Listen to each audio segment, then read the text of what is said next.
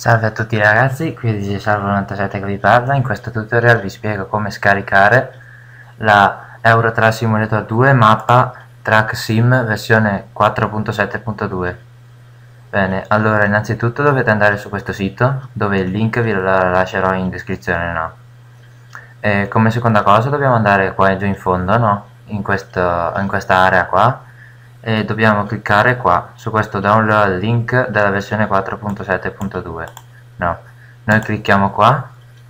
Verrà fatto verrà fatto il caricamento no? Verrà caricata questa pagina che è di Bilty se non ve la carica è perché non avete cambiato il DNS Google quindi dovete andare a vedere il video che ho caricato io oppure altro. Andiamo qua giù in sotto e andiamo qui su TrackSim Map 4.7.2 download server che ve lo scarica da server oppure potete scaricarlo da uno oppure da questi altri due siti però io per comodità scelgo da questo qua. Vedete qua scaricherà sul, tramite Google Chrome. Vedete è comparso qui. E qua nei download. Bene eh, non dovrebbe tenerci molto però intanto che che scarica io stoppo e continuiamo quando ha finito il download.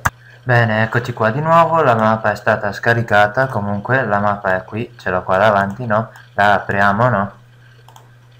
La apriamo con WinRAR se non avete il programma WinRAR ve lo vi metto il link in descrizione per scaricare anche WinRAR comunque c'è questa cartella noi dobbiamo aprirla dobbiamo selezionare i quattro file SCS e spostarli in computer disc, eh, disco locale C, programmi file per 86, dobbiamo andare nella cartella Eurotrack Simulator 2, no?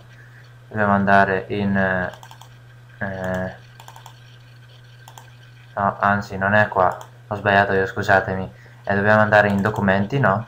Eurotrack Simulator 2, dobbiamo metterle, dobbiamo mettere le mod assieme alle, alle altre mod perché sono come delle mod normali e le mettiamo dentro qua, no?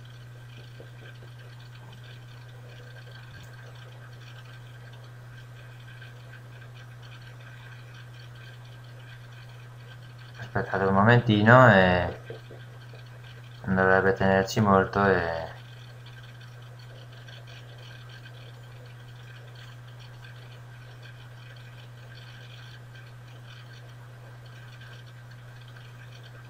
Bene ragazzi le mod sono state scaricate, sono state messe sul, nella cartella di mod e adesso eh, una volta messe nel mod chiudiamo tutto e avendo anche la, installata la patch 1.9.2 ve, ve, le, ve le funzionerà di sicuro. Se, se non vi funzionano dovete cioè in pratica eh, dovrete come si dice ci sarà da attivarle qua a lato no? Qui a lato da, quando fate il, il, il caricamento del gioco fate ci saranno le impostazioni andate qui eh, e mettete la spunta per attivare la, la, le mappe aggiornate. Bene per questo è tutto e vi saluto